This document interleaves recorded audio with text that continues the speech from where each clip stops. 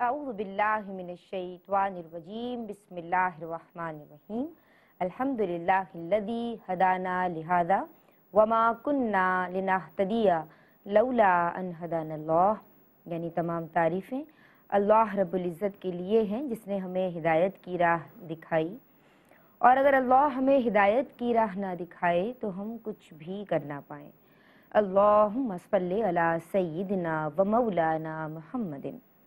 عدد ما فی علم اللہ صلاة دائمتا بدوام ملک اللہ السلام علیکم ورحمۃ اللہ وبرکاتہ ناظرین کرام، آپ دیکھ رہے ہیں خواتین کی دینی تربیت اور اصلاح کے تعلق سے A R Y Q T V کی ایک عمدہ ترین کاوش، جسے آپ پاکستانی وقت کے مطابق اپنے پسندیدہ channel A R Y Q T V پہ کم و بیش پانچ بجے تھوڑا کم و بیش A R Y Q T V پہ دیکھتے ہیں اور ہم کوشش کرتے ہیں کہ شریعت متحرہ کی بنیادی تعلیمات کو اپنی پسندیدہ عالمات کی وساطت سے اور ہمارے پسندیدہ، آپ سب کے پسندیدہ مذہبی اسکالرز مفتیان کرام، علماء کرام کی موجودگی میں ان تمام مسائل کو جو شریعت متحرہ جن کے حوالے سے ہمیں جوابات بھی دیتی ہے اور ہمیں سیکھنے اور سمجھنے کے مواقع فراہم کرتی ہے۔ آپ تک اس پلیٹ فارم کو یوز کرتے ہوئے لایا جائے۔ آپ ہمیں کالز کرتے ہیں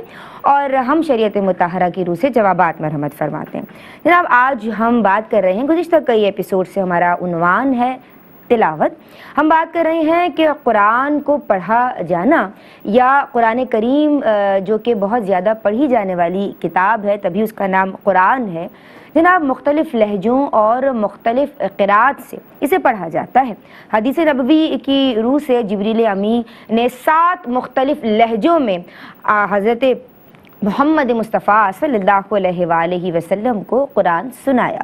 تو جناب جو قرآت کرنا چاہتا ہے، اسے چاہیے کہ باقاعدہ اس کو سیکھے، کیونکہ یہ ایک آرٹ ہے اور اللہ تبارک و تعالیٰ بہت خوش ہوتا ہے۔ جہاں تلاوت کی جا رہی ہے تو سامعین پہ اسے سننا واجب ہے۔ تو کوشش یہ کیجیے کہ پھر سب کچھ چھوڑ کے تلاوت سنیں۔ اور اگر مجمع کی شکل میں پڑھ رہے ہیں تو تلاوت ہلکی آواز سے کریں تاکہ آپ کے صرف کان تک کانوں تک اس کی آواز جائے۔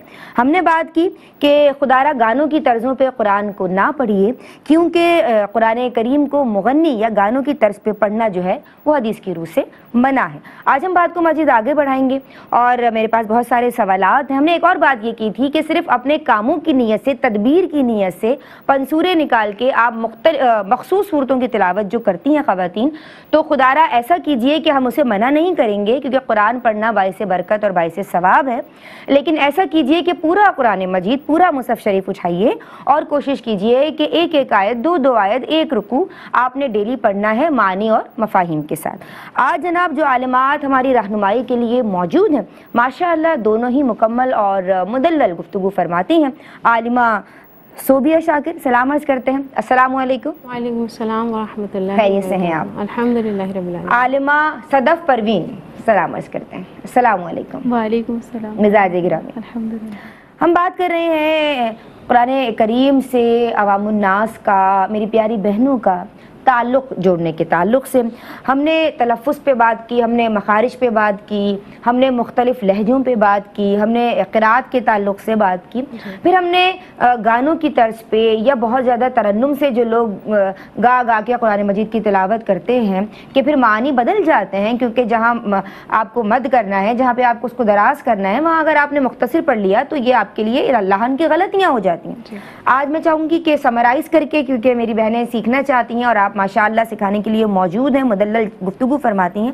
تو ذرا تمہید باندھتے ہوئے تلاوت کے تعلق سے ہمیں یہ سمجھائیے کہ جو لوگ ٹی وی چینلز پہ یا ریڈیو پہ یا اب ایسا بھی ایک ٹرینڈ ہے اور اچھی بات ہے کہ ڈرائیونگ کرتے ہوئے مرد حضرات یا میری بہنیں تلاوت سنتی ہیں، چینلز مختلف جو ہوتے ہیں اس پہ۔ اب اسے آف کر دینا یکدم بدل بدل دینا اور کوئی اور چینل لگا دینا جس پہ کوئی انٹرٹینمنٹ کا پروگرام آ رہا ہے یا جو بھی آ رہا ہے، تو یہ کیا شرعی حکم ہوگا اس تعلق سے؟ اعوذ باللہ من الشیطان الرجیم، بسم اللہ الرحمن الرحیم۔ دیکھیں، جو آپ نے ابتدان کلام فرمایا، بالکل جامع اور مدلل تھا اور بالکل ٹو دا پوائنٹ بھی تھا۔ لیکن اللہ تبارک و تعالیٰ کا جب ہم حکم تلاوت کے اعتبار سے دیکھتے ہیں، تو اللہ تعالیٰ نے فرمایا ورت تل القرآن ترتیلا یعنی قرآن کو ترتیل کے ساتھ پڑھا جائے گا۔ تو اس میں گانے کا لہن وغیرہ جو آپ نے ذکر کیا کہ منع کیا گیا شریعت میں، وہ ظاہری بات ہے کہ نہیں آئے گا اس میں۔ اور اللہ تعالیٰ نے فرمایا رت قرآن ترتیلا یعنی قرآن کو خوب ٹھہر ٹھہر کر پڑھا جائے۔ جب قرآن کو ٹھہر ٹھہر کر پڑھا جائے تو اس میں ترجمہ اور تفسیر بھی شامل ہو جائے گی حکمن اور پھر غور و تفکر بھی قرآن میں جگہ جگہ بیان کیا گیا ہے کہ اس میں نشانیاں بیان کی گئی ہیں تو غور و تفکر بھی کرو۔ اور اپنا محاسبہ بھی کرو تزکیہ نفس کا ذریعہ بھی قرآن کریم بن سکتا ہے اگر ہم ترجمہ تفسیر کے ساتھ اس کو پڑھیں تو۔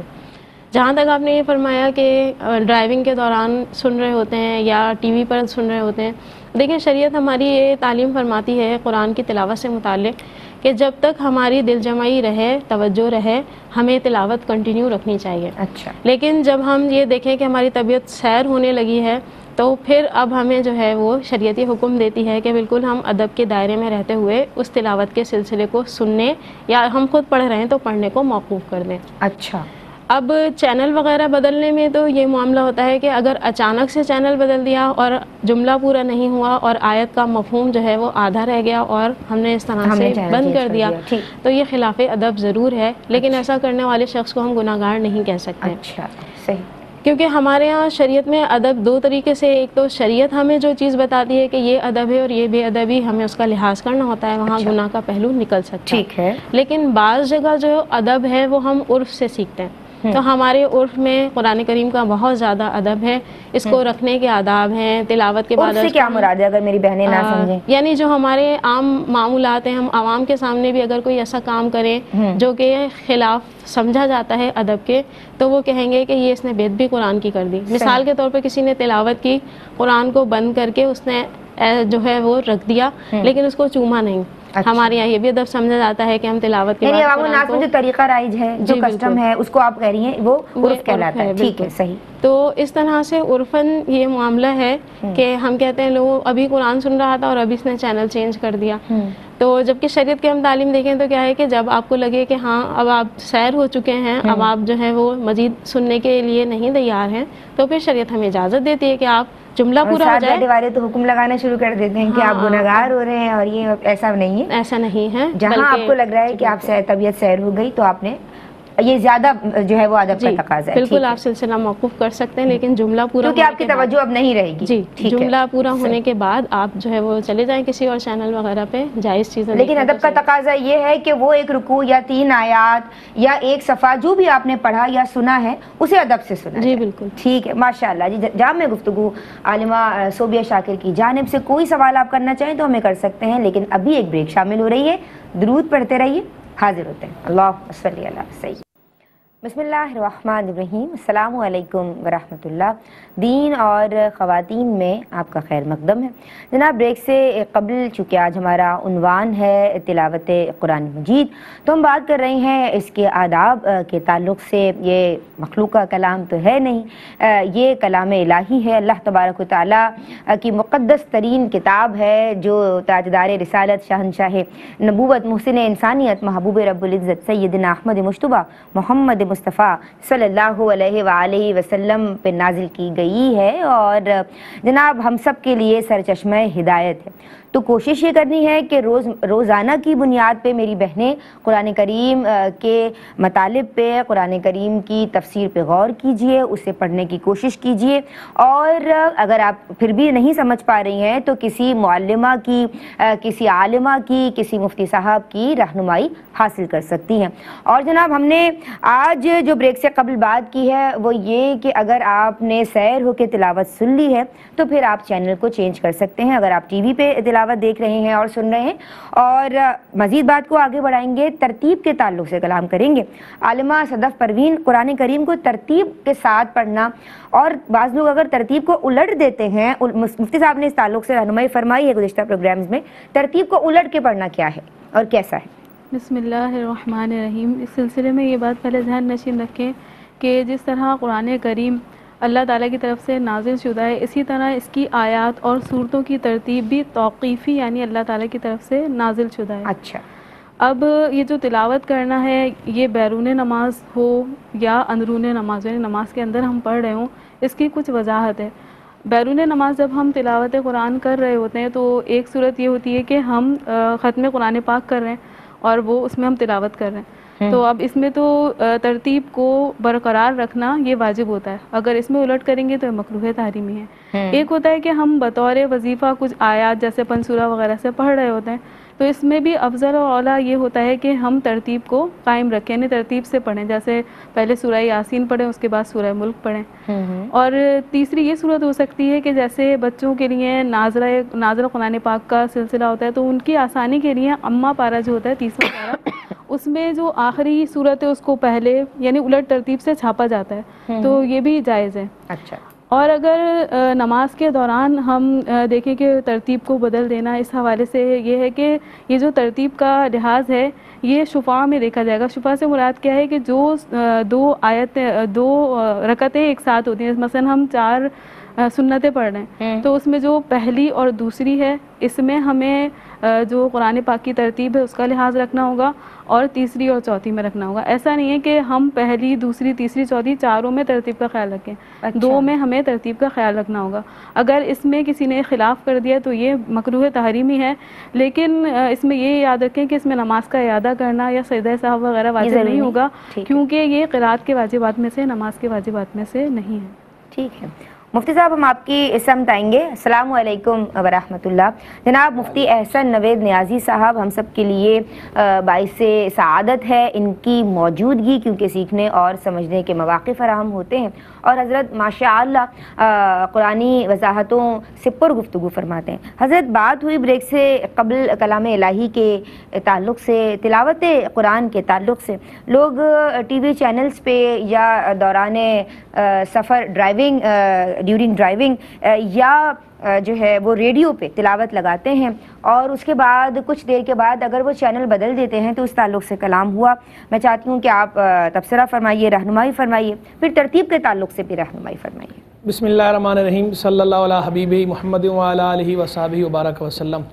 قرآن مجید فرقان حمید برہان رشید خیر ہی خیر ہے نور ہی نور ہے ہدایت ہی ہدایت ہے۔ سبحان اللہ۔ قرآن مجید کے ساتھ بندہ مومن کا تعلق تلاوت کا ہو تفکر اور تدبر کا ہو عمل کا ہو تبلیغ کا ہو یہ سارے ہی تعلق اپنی جگہ مطلوب بھی ہیں اور یہ سارے تعلق مضبوط بھی ہونے چاہیے قرآن مجید فرقان حمید کو جس طرح پڑھنے کا ثواب ہے اسی طرح قرآن مجید فرقان حمید برہان رشید کو سننا بھی باعث برکت ہے رحمت الہی کا سبب ہے اور اجر اور ثواب ملنے کا سبب ہے۔ بندہ اگر حسن نیت کے ساتھ قرآن مجید فرقان حمید کی تلاوت سنے گا اسے اس پر ثواب ملے گا۔ اچھا۔ اور اگر ایسی جگہ سن رہا ہے یا مجمع ہی ایسا ہے جو قرآن کی تلاوت کے لیے ہے مجمع ہے اور وہاں قرآن کی تلاوت ہو رہی ہے وہاں تو سننا فرض ہے۔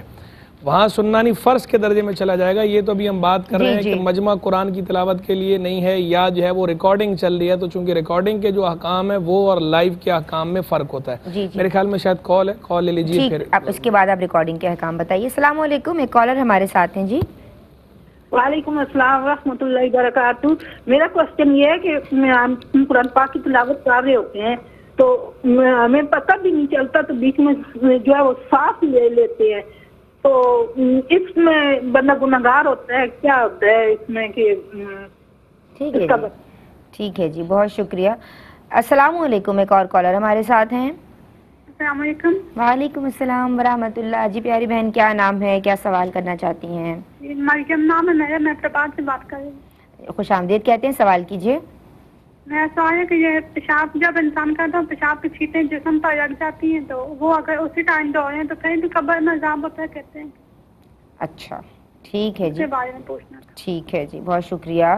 آپ نے ہمیں کال کی اور آپ کا سوال پروگرام میں شامل کیا جائے گا۔ حضرت ریکارڈڈ جو تلاوت ہوتی ہے اس تعلق سے آپ ہمیں بتا رہے تھے کہ لائیو اور ریکارڈنگ میں کیا فرق ہے؟ جی تو براہ راست کے احکام الگ ہیں؟ ریکارڈنگ کی جہاں تک بات ہے تو ریکارڈنگ کو سننے پہ بھی انشاءاللہ اجر ملے گا حسینیہ سے سنے گا تو لیکن اس کے احکام اس طرح فرض یا واجب والے نہیں ہوتے۔ اچھا۔ تو اس دوران اگر کوئی اپنے کام کاج میں مشغول رہتا ہے اور قرآن کو بھی چلائے رکھتا ہے جیسے گھروں کے اندر ایسا ہوتا ہے عام طور پر خواتین صبح صبح کام کرتی ہیں جی تو تلاوت کے پروگرامز لگا دیتے ہیں یا ریکارڈنگ جو ہے وہ لگا دیتے ہیں جی، یا اسی جی۔ طرح جو ہے وہ مرد حضرات ڈرائیونگ کرتے ہیں تو صبح صبح جو جی، ہے جی۔ وہ برکت کے لیے وہ قرآن مجید فرقان حمید کی تلاوت لگا لیتے ہیں۔ خاص چینلز ہوتے ہیں قرآن جی مجید کی تو تلاوت کے۔ یہ جو ہے اصل تو ویسے افضل اولا انصب احسن اکمل اجمل یہ ہے کہ انسان غور سے قرآن مجید کی تلاوت سنے۔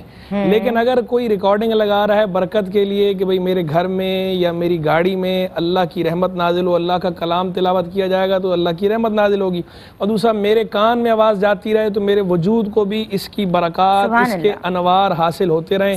اب اگرچہ میں اس طرح وقت نہیں دے پا رہا میں اپنے کام میں نے نمٹانا ہے تو کام نمٹاتا کام بھی کر رہے ہیں اور کام بھی کر رہے ہیں۔ اور ساتھ میں تلاوت کی برکت حاصل کرنا چاہ رہا ہے۔ تو اس طرح کرنے میں بھی کوئی حرج کی بات نہیں ہے یہ بھی اچھا ہے انسان کر سکتا ہے ہمارے بچوں۔ کو اسکول بھیج رہی ہیں اور کام بھی کر رہی ہیں ریڈی بھی کروا رہی ہیں تلاوت بھی لگائی تلاوت بھی لگائی ہوئی وہ کانوں میں جا رہی کانوں میں جا رہی آواز تو اللہ کا۔ کلام ہے اللہ کے کلام کے انوار تجلیات وہ بکھرتی ہیں فضا سبحان۔ اللہ وہ انسان کے جو گھر ہے در و دیوار ہے اس کو بھی منور کرتے ہیں انسان کے وجود کو بھی منور کرتے ہیں اور یہاں ریکارڈنگ کا حکم لگے جی گا اور جو صاحب بصیرت لوگ ہوتے ہیں وہ تو واقعی ان انوار جن کی دل کی آنکھیں کھلی ہوتی ہیں ان کو تو باقاعدہ وہ انوار وہ تجلیات نظر بھی آتی ہیں۔ واہ، تو واہ، یہ تو واہ، واہ۔ اصحاب دل تو اس کو اچھی طرح جانتے ہیں۔ سبحان تو انوار اور برکات سے بہرحال فائدہ حاصل کرنا چاہیے ہم اس سے کوئی ممانت نہیں کرتے۔ سلامت رہیے حضرت اللہ آباد رکھے۔ السلام علیکم ایک کالر ہمارے ساتھ ہیں۔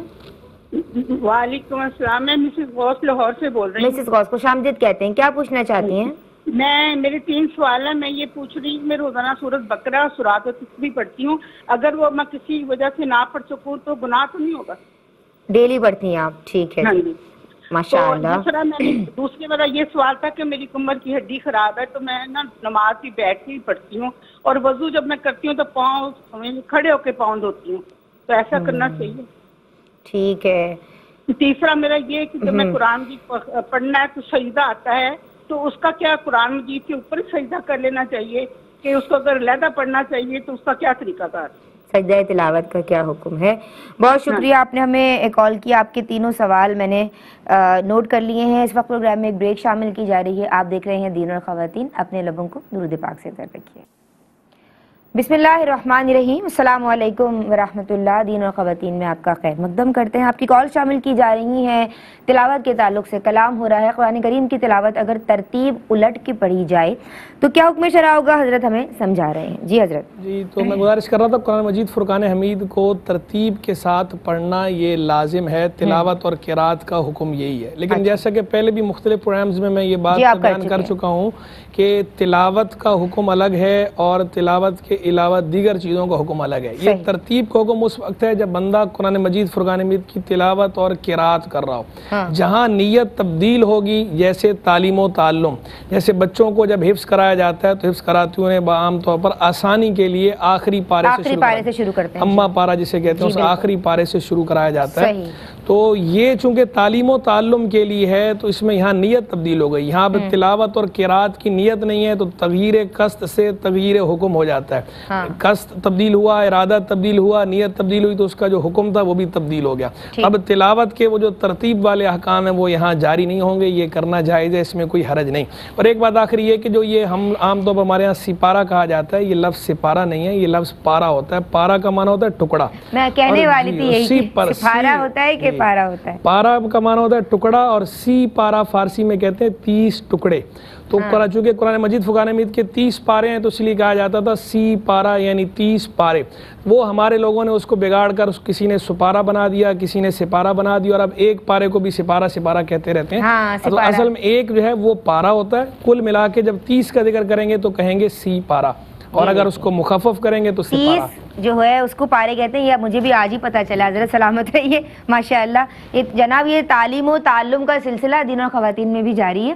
ہم سیکھ رہے ہیں اور اللہ تبارک و تعالیٰ سکھانے والوں کو سلامت رکھے۔ اچھا مجھے یہ بتائیے عالمہ صوبیہ شاکر خدا نخواستہ اگر مصحف شریف گر جاتا ہے تو حکم شرع کیا ہوگا؟ کیا کفارہ لازم آئے گا؟ دیکھیں اس سلسلے میں عوام میں یہ معروف ہے کہ اگر قرآن شریف ہاتھ سے چھوٹ کر گر جائے تو اس کے وزن کے برابر آٹا خیرات کرنا لازم ہے۔ یہ مسئلہ بالکل غلط ہے ایسا کچھ بھی نہیں ہے شریعت کی طرف سے۔ ہاں البتہ اتنا ضرور ہے کہ جس کے ہاتھ سے یہ گرا ہے اس نے غفلت ایسی کیوں کی؟ اس پر توبہ لازم ہے۔ اب اگر ہم دوسری اور جہاز سے دیکھیں تو یہ گناہ ہو بھی سکتا ہے۔ مثال کے طور پر بچہ ہمیں پتہ ہے کہ اتنا چھوٹا ہے کہ وہ نہیں اٹھا سکتا پارا۔ یا جو ہے ہم اس کو قاعدہ وغیرہ دے دیتے ہیں جس میں بھی آیت قرآنی ہوتی ہیں آخر میں نماز کا ذکر ہوتا ہے۔ تو اب یہ سب ہم نے اس کو دے دیا ہمیں معلوم ہے بہت چھوٹے چھوٹے بچوں کو ہمیں شوق ہوتا ہے کہ ہم بھیج دیں اور یہ پڑھیں۔ اچھا شوق ہے اس سے منع نہیں لیکن آپ خود جو ہے ان کو جب چھوڑنے جاتے ہیں تو قرآن کریم کا کوئی جز ہو یا قاعدہ ہو وہ آپ اپنے پاس رکھیے اور پھر جب بچہ اندر داخل ہو تو پھر وہ کسی ذمہ دار یا تھوڑے بڑے بچے کے حوالے کیجیے کہ اس کے یہ اس کا ہے اور جب یہ پڑھنے بیٹھ جائے تو اسے دے دیا جائے۔ کیونکہ بچے جو ہوتے ہیں عموماً اسے سنبھال نہیں پاتے تو اگر ان سے گرتا ہے تو اس صورت میں دینے والا گناہ گار ہوگا۔ کیونکہ بچے تو آکام شرح کے مکلف نہیں ہوتے۔ ہاں۔ تو اب اگر جس نے ان کے حوالے کیا تھا یہ ذمہ داری اس کی طرف جائے گی اور پھر جب اسے پتہ بھی ہے کہ سنبھال نہیں سکتا تو اس میں گناہ گار یہ ہوگا۔ اور اگر کسی نے جیسے بعض لوگ غصے کے بہت تیز ہوتے ہیں قرآن کریم کی بے حرمتی کی نیت سے نہیں بلکہ جو ہے اس کو غصہ آیا کسی بات پہ اس نے زور سے قرآن رکھ دیا تو اب بھی اس کے اوپر توبہ لازم ہوگی اس کو توبہ کرنی ہوگی۔ کہ جب آپ کا غصہ تھا اس میں قرآن کا کوئی عمل دخل نہیں تھا تو آپ نے اس طرح سے غصے کے اظہار کے لیے قرآن کو اس طرح رکھنا یہ مناسب نہیں تھا۔ اور معذ اللہ کسی نے توہین اگر قرآن کے ساتھ اس طرح کا معاملہ کیا تو پھر اس کے لیے حکم کفر بھی متوجہ ہو سکتا ہے۔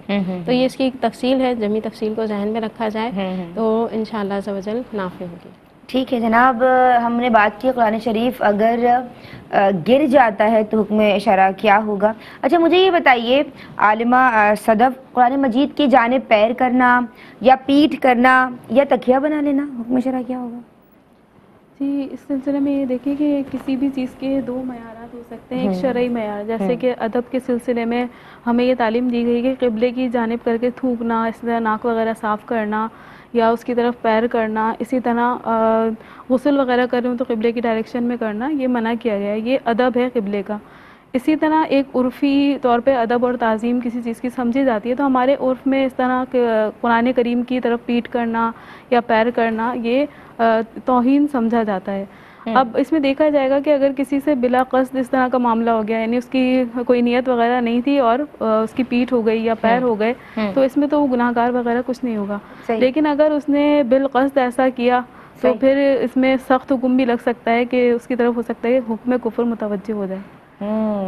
حضرت پیشاب کی چھیٹوں کے تعلق سے سوال کیا میری بہن نے قبر میں عذاب ہوگا اگر جہان نہیں گیا تو کیا کریں؟ بھول گئے۔ دیکھیں بہن نے پوچھا کہ صرف وہی حصہ دھو لیا گیا دھو لیا اور تو بھی ہوگا کہ نہیں دیکھیں اول تو بچنا چاہیے لیکن اگر جو ہے کسی وجہ سے پیشاب کے چھینٹے پڑ گئے اور فوراً دھو لیے تو فوراً دھو لینے سے انشاءاللہ امید یہی ہے رب کی رحمت سے کہ چونکہ اس بندے نے فوراً طہارت کا اہتمام کر لیا اس لیے ہاں۔ اللہ کی رحمت سے امید ہے کہ عذاب نہیں ہوگا ہاں۔ اور اگر اس کی کوتاہی تھی اس نے ایسا طریقہ اختیار کیا بچا جا سکتا تھا لیکن اس کے باوجود اس کی کوتاہی کو دخل تھا اس وجہ سے چھینٹے پڑے تو ساتھ میں توبہ بھی کر لے تاکہ وہ گناہ بھی معاف ہو جائے اور جو ہے وہ طہارت کی وجہ سے دوران تلاوت اگر معلوم نہیں چلا اور سانس لے لی تو۔ دیکھیں سانس لینے میں تو کوئی حرج نہیں ہے بس وقف کے اندر بہرحال ضرور خیال رکھنا چاہیے کہ بعض جگہوں پہ وقف کرنا درست ہوتا ہے بعض جگہوں پہ وقف کرنا درست نہیں ہوتا۔ تو یا تو کسی اچھے کاری مکری سے سیکھ لیں یا پھر قرآن مجید فرقان مجید کے آخر میں علامات دی ہوتی ہیں وقف کی۔ وہ رموز دیکھ لیں اور اس کے مطابق وقف کا سجدہ تلاوت کا حکم کیا قرآن کریم پہ قرآن مجید فرقان حمید کے اوپر سجدہ نہیں کرنا ہوتا سجدہ تو جو ہے وہ اس طرح زمین پہ یا جائے نماز پہ کرنا ہوتا ہے جس طرح عام سجدہ ہوتا ہے۔ اسی وقت کر لیں اگر مکرو وقت نہیں ہے تو اسی وقت کر لیں تو بہتر ہے نہیں تو بعد میں بھی کیا جا سکتا ہے مکرو وقت کو چھوڑ کر۔ کھڑے ہو کے وضو کرنا کھڑے ہو کے وضو میں پاؤں دھونا۔ کھڑے ہو کے وضو میں پاؤں دھونے میں کوئی حرج نہیں ہو سکتا ہے۔ کمر کی ہڈی خراب ہے نماز بیٹھ کے پڑھنا نماز اگر جو ہے وہ ایسا تھا ان کے لیے کہ بھئی قیام ان سے ساکت ہے تو پھر تو بیٹھ کے پڑھنے میں حرج نہیں۔ سورہ بقرہ صلاۃ التسبیح روز پڑھتی ہیں کسی ایک دن مس آؤٹ ہو جائے تو گناہگار ہوں گی۔ جو عمل روز کرنا کرنے والے ہوتے ہیں ان کو روز کرنا چاہیے۔ حدیث میں حب الاعمال ادومھا احب العمال اللہ ادم وین کلّہ اللہ کو سب سے پیارا عمل وہ ہوتا ہے جو ہمیشہ کیا جائے اگرچہ کم ہی کیوں نہ ہو۔ تو ہمیشہ کرنے والا عمل چھوڑنا نہیں چاہیے لیکن کسی وجہ سے چھٹ جائے تو اس پر گناہ نہیں ہوتا۔ اچھا اگر وہ فرض یا واجب نہیں ہے تو۔ اگر کوئی فرض یا واجب ہے تو اسے چھوڑنا برل درست نہیں۔ ٹھیک ہے حضرت بہت شکریہ آپ کا۔ عالمات میں آپ دونوں کی شکر گزار ہوں۔ ناظرین آپ لوگوں کا بہت شکریہ۔ آپ لوگ ہمیں کالز کرتے ہیں اور زندگی نے وفا کی تو انشاءاللہ ہم اسی تعلق سے یا کسی نئے موضوع سے موضوع کے ساتھ حاضر ہو جائیں گے۔ شریعت متحرہ کو سیکھنے کا موقع ہمیں بھی مل رہا ہے اور انشاءاللہ آپ کو بھی ملے گا زندگی نے وفا کی۔ تو حاضر ہو جائیں گے۔ السلام علیکم ورحمۃ اللہ۔